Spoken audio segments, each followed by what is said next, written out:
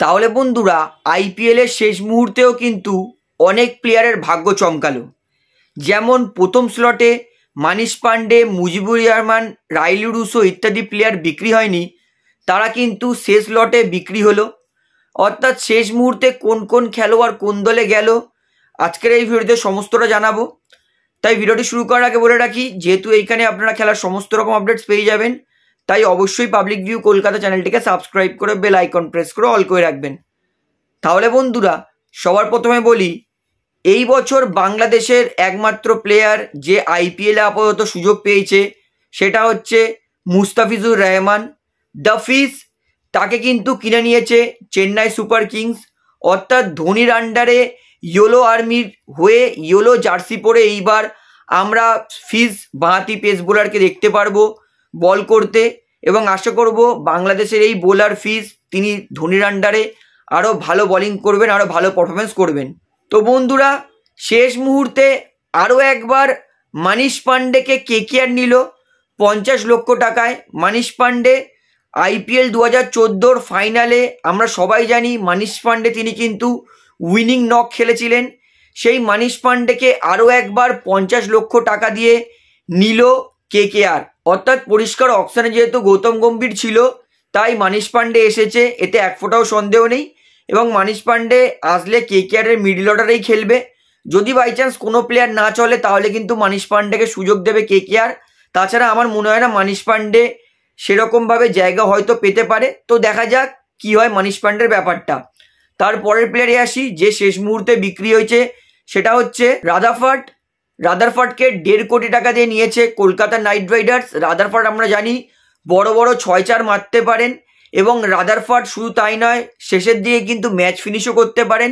তাই রাদারফার্টকে আপাতত নিয়েছে আমার মনে হচ্ছে আন্দ্রে রাসেলের ব্যাকআপ হিসেবে অ্যাজ আ ব্যাটসম্যান কারণ রাদারফার্ট ভালো ব্যাটিং করে, তাই যদি রাসেলের ব্যাকআপে সেরকম প্লেয়ার পায়নি তাই রাদারফার্টকে নিয়েছে কেকেআর দেড় কোটি টাকা দিয়ে। আশা করব রাদারফার্ট কেকেআরের জন্য ভালো খেলবে। এবং দেড় কোটি টাকায় রাদারফার্টকে নিয়েছে কেকেআরের হয়ে অন্তত সুযোগ পাবে। তো এই বিধ্বংসী প্লেয়ার রাদারফার্ট কেকেআরের জন্য ভালো করুক, এটাই আশা করব।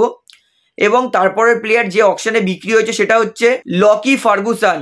Kolkata Knight Riders যাকে লাস্ট সিজন দশ কোটির বেশি টাকা দিয়ে কিনেছিল, সেই প্লেয়ার প্রথম রাউন্ডে বিক্রি হয়নি।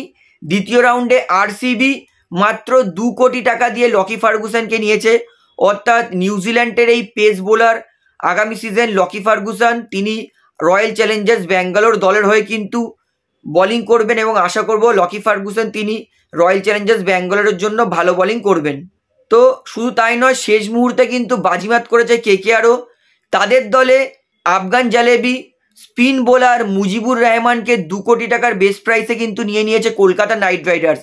Mujibur Rahman no doubt ভালো বোলার খুব ভালো স্পিন বল করেন এবং পাওয়ার প্লেতে তিনি ভালো স্পিন বল করে কিন্তু উইকেট নেওয়ারও ক্ষমতা রাখেন এবং মুজিব কলকাতার স্পিন পিচে কিন্তু তার কাঁধ আরও বেড়ে যাবে এবং কলকাতার স্পিন পিচে কিন্তু মুজিব তার মানে বলিং আরও ভয়ঙ্কর হবে। অর্থাৎ যদি সুনীল নারায়ণ বাই চান্স না চলে, তাহলে কিন্তু তখন কে কে আর মুজিবুর রহমানকে খেলাতে পারে। কারণ মুজিবুর রহমান, তিনি কিন্তু পাওয়ার প্লেতে বল করে উইকেট নেওয়ার ক্ষমতা রাখেন। তো বলব শেষ মুহূর্তে কে কে আর কিন্তু এটা বাজিমাত করেছে যে মুজিবুর রহমানের মতো প্লেয়ারকে নিয়ে। Mujib no doubt K K আরের জন্য স্পিন বোলিং করলে পাওয়ার প্লেতে কে কে আর উইকেট পাবেই পাবে। তো বন্ধুরা, শেষ মুহূর্তে দু কোটি টাকায় মুজিবুর রহমানকে কে কে আর নিয়ে কিন্তু চমৎকার একটা সিদ্ধান্ত নিয়েছে। তো দু কোটি টাকায় মুজিবকে নিয়েছে কে কে আর। তারপরে ওয়েস্ট ইন্ডিজের wicket keeper batsman Shai Hope তাকে পঁচাত্তর লক্ষ টাকা দিয়ে নিয়েছে দিল্লি ক্যাপিটালস দিল্লি ক্যাপিটালস সাই হোপকে নিয়েছে। আশা করি সাই হোপ তিনি আইপিএল এর এক্সপিরিয়েন্স পাবেন। কারণ সাই হোপ আমরা জানি তিনি কিন্তু সাধারণত ওয়ান ডে আর টেস্ট ব্যাটসম্যান টি টোয়েন্টিতে তার অতটা নাম নেই। তবুও সাই হোপকে কিন্তু নিয়েছে দিল্লি ক্যাপিটালস পঁচাত্তর লক্ষ টাকা দিয়ে।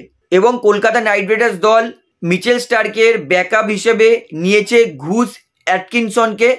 ইনি একজন ইংলিশ পেস বোলার যাকে এক কোটি টাকার বেস্ট প্রাইস দিয়ে নিয়েছে কে কে আর তো বাই চান্স যদি মিচেল স্টার্কের কিছু হয়ে যায়, তাহলে কিন্তু গুস অ্যাটকিনসন বলে এই প্লেয়ারটাকে কে কে আর খেলাবে। তো একে মিচেল স্টার্কের ব্যাকআপ প্লেয়ার হিসেবে নিয়েছে কে কে আর। তো আশা করব ঘুষ অ্যাটকিনসন এই ইংলিশ বোলারটা কে কে আরের জন্য ভালো করবে এবং একে এক কোটি বেস প্রাইস দিয়ে নিয়েছে কলকাতা নাইট রাইডার্স এবং সবথেকে অবাক কাণ্ড বিষয় স্টিভ স্মিথ অস্ট্রেলিয়ার এই লেজেন্ডারি ব্যাটসম্যান তাকে কিন্তু কোনো আইপিএল দল নেয়নি।